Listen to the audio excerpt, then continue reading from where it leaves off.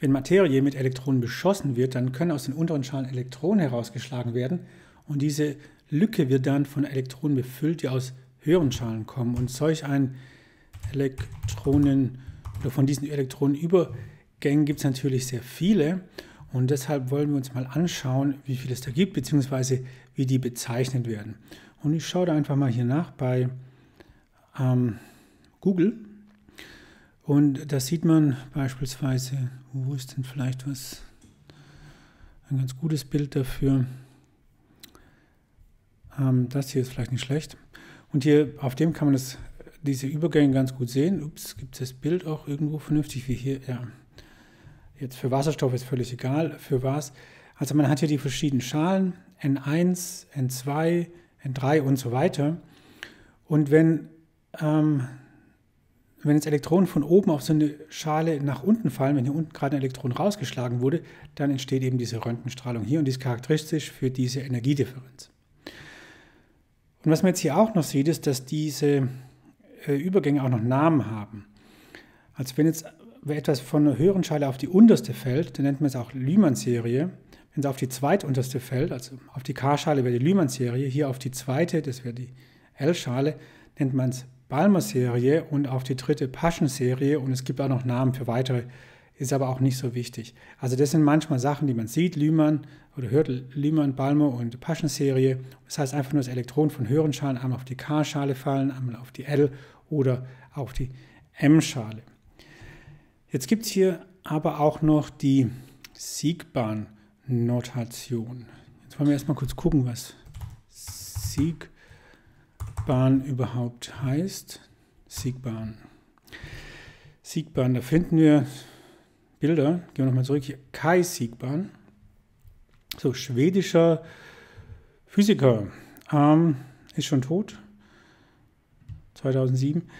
Und hat sogar den Nobelpreis bekommen und ähm, gucken wir hier oben nochmal. Also Siegbahn obtained a Nobel Prize for developing the method of electron spectroscopy for chemical analysis, now usually described as X-ray. Described as X-ray. Das ist genau das, ja. Der hat diese Übergänge eben mit entdeckt und hat die auch klassifiziert und eine Notation dafür eingeführt. Die wollen wir uns mal angucken, diese Notation hier. Und das hier ist so ein ganz typisches Bild für diese Notation, wobei ich will mal ganz kurz noch zuerst auf das hier eingehen. Hier sieht man nämlich nochmal diese Übergänge, diese Elektronenübergänge, also hier die K-Schale, die auch manchmal N1 genannt, also Hauptquantenzahl 1, dann die L-Schale, die aufgespalten ist in diese drei, ähm, in, in diese drei Niveaus hier. Und diese drei Niveaus, die nennt man auch L1, L2, L3, weil es die L-Schale ist, dann einfach nur 1, 2, 3. Sehr simpel. Und dahinter steht dann auch noch, welche, welches Orbital das hier ist.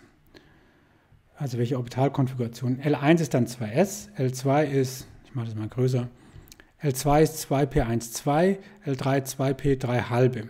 Das sind diese Quantenzahlen, nach denen das benannt ist. Und was man hier schon sieht, ist, dass man sehr unterschiedliche Notationen hat. Wir hatten schon gesehen, manchmal nennt man, wenn das auf die K-Schale fällt, Lyman-Serie. So, jetzt sieht man auch noch, dass diese Schalen unterschiedlich benannt sind. Also einmal K, L, M und so weiter.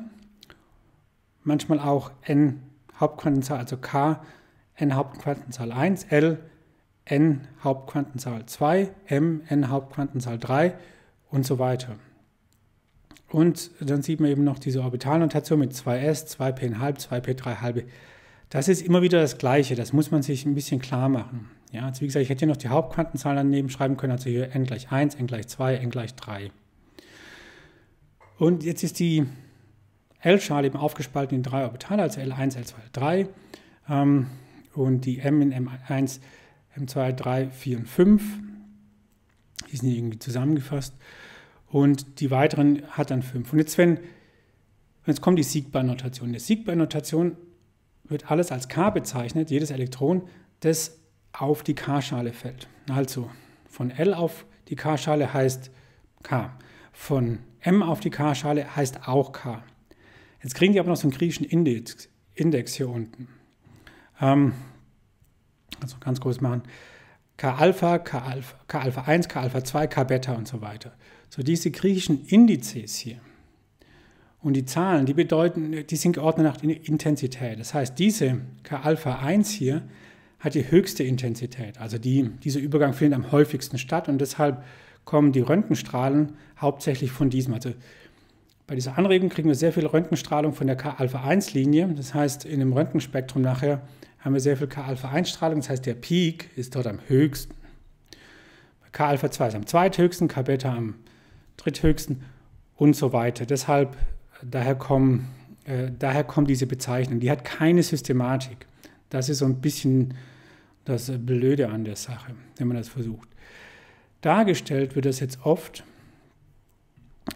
So, dann ganz typisch ist dieses Bild hier. Hier sieht man auch nochmal mit dieser unterschiedlichen Notation, also KLMN, K eine Schale, L hat die 1, 2, 3, M 1, 2, 3, 4, 5, N 1, 2, 3, 5, 6, 7.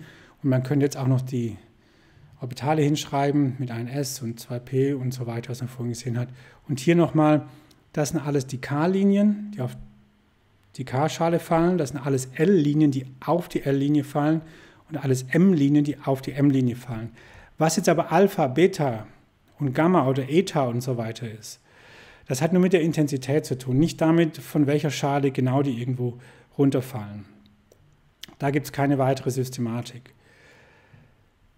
Deshalb wurde aber auch mal vorgeschlagen von der EUPAC, die hier ist, eine einfachere Notation, und dies hier in dieser eigentlich sehr schönen Tabelle ein bisschen zusammengefasst. Also hier hat man einmal die K-Schale oder wird auch bezeichnet diese 1S-2. Und jetzt, das ist die, das untere Energieniveau, jetzt ist das obere Energieniveau. Und jetzt fällt ein Elektron von zum Beispiel L3 auf K runter. Und bei der Sigma-Notation würde das lauten K Alpha 1. UPAC sagt einfach nur K, dort landet es und kommen tut es von L3. Oder wenn es von L2 auf K fällt, dann wäre es bei Siegbahn K Alpha 2 und UPAC sagt sehr simpel, es fällt auf K und kommt von L2. Also das ist natürlich die sehr viel simplere und übersichtlichere Notation hier. Ähm, und so funktioniert die Notation bei der, für die charakteristische Röntgenstrahlung. Also man spricht dann immer von der K-Alpha-Strahlung, also meistens wird die einfach benutzt, die Siegbahn-Notation. Dann spricht man von der K-Alpha-Strahlung, K-Beta und so weiter. Das sieht man dann immer in diesen Spektren aufgetragen. Man sollte aber noch dazu wissen, das nur am Rande erwähnt, hier schon einmal, es gibt noch sehr viele Effekte, die Zwischenlinien erzeugen. Also es gibt sowas wie Satellitenlinien beispielsweise, die auch noch auftauchen können und die haben dann auch noch, die sind wir mit KS zum Beispiel bezeichnet und so weiter. Aber das hier ist die simple Nomenklatur, die man auf jeden Fall kennen muss und die wichtig ist, vor allem die Sigma-Notation, aber auch die Relation zu den, zu den Schalen bzw. auch der EUPAC-Notation.